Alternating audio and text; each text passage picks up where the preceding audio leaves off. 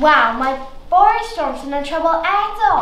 Be mae o wedi gwneud nawr? Paid â gofyn. Mae o'n barti yn yn down Street ac mae'n y asonwydd y frenhines yn o nawr. Beth?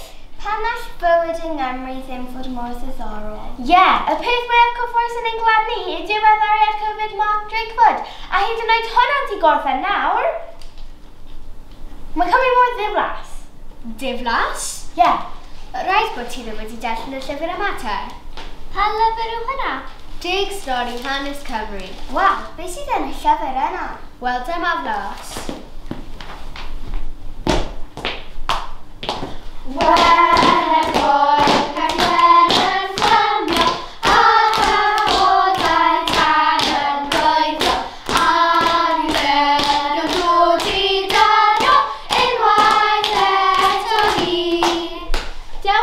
dynion amdani! Bu Owen Glyn Dŵr yn brwydro yn erbyn Lloegr i ennill cestyll ac annibynaeth ym yn y 15 ganrif gan ennill y teitl Tywysog Cymru. Hei, peidiwch yn anghofio amdano fi! Oedd ti? Gwenllunian ac Griffith, o'n i'n gwmpas yn brwydro dros ein gwlad yn bell cyn fi. Hei, wel, ti sy'n cael tafarn wedi ei enwi ar ôl di a cherflin, a beth ges i? Fy mor ddiflas nawr, efe ferched. Mm, wel, ddim ond dau person yw hynna. Mae cymaint mwy yn y llyfr yma. Beth arall te? Wel, dyma Eileen, grandewch ar ei hanes hi. Chi'n gweld hwn fan hyn ferched?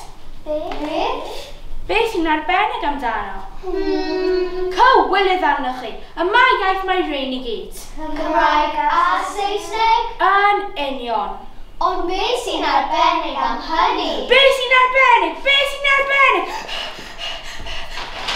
Dere Eileen, dydw i ddim wedi darllen y llyfr eto. Wel na faddau chi dro am y ferched. Gweithais i a fy nghwyr trefo yn galed iawn i sicrhau fod fethau fel hyn yn dwy ieithog yn Gymru.